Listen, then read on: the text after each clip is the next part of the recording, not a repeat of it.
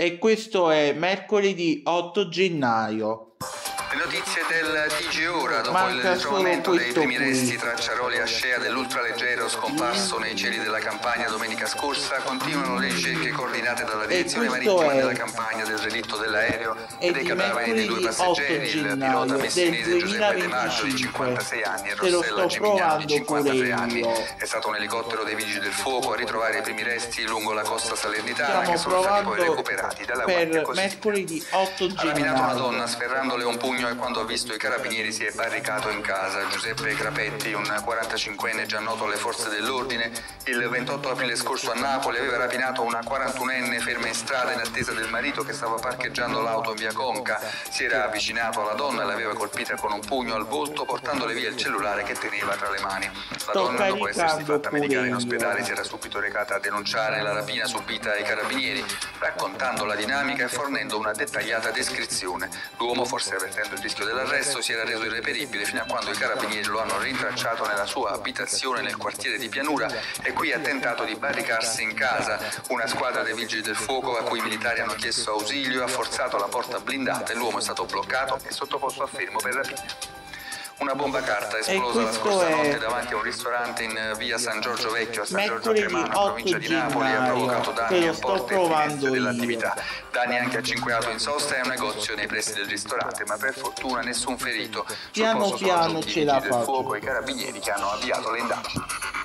Le fiamme gialle di Nocera Inferiore hanno controllato un soggetto di nazionalità italiana in possesso di svariati capi contraffatti di vari marchi famosi nel settore dell'abbigliamento posti in vendita in internet e sui social network.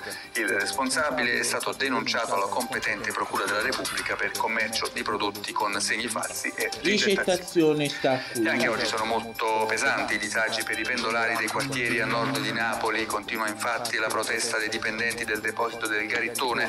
Molte linee sono sospese a causa del rigoroso controllo effettuato dai dipendenti sul parco bus. A provocare la protesta la notizia che dal 1 giugno il deposito chiuderà i battenti. La decisione ha provocato una reazione forte dei sindacati e dei lavoratori. Mercoledì i Parchi Verdi del gruppo Guardia di Finanza di Salerno hanno intensificato le operazioni di controllo nel territorio dell'area metropolitana del capoluogo provinciale. Cinque soggetti individuati, due nei pressi della stazione ferroviaria del capoluogo, sono italiani residenti rispettivamente a Battipaglia e Bellizzi, trovati in possesso di alcuni grammi di hashish. Altri due soggetti, entrambi salernitani, sono stati individuati a Mercatello quali detentori rispettivamente di alcuni grammi di hashish. La droga è stata sequestrata i soggetti sono stati segnalati alla prefettura di Salerno per uso illecito di sostanze sostanze stupefacenti. Infine le fiamme gialle hanno sottoposto a sequestro oltre 4 kg di tabacchi lavorati posti in vendita in un bar di Monte Corvino Rovella in assenza dell'autorizzazione prevista.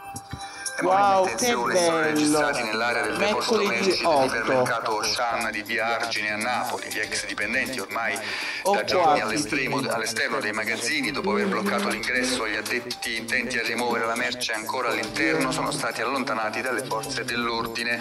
Stanno cancellando ogni traccia dell'Ocean, chiara un sindacalista e delle oltre 100 famiglie che vi vivevano.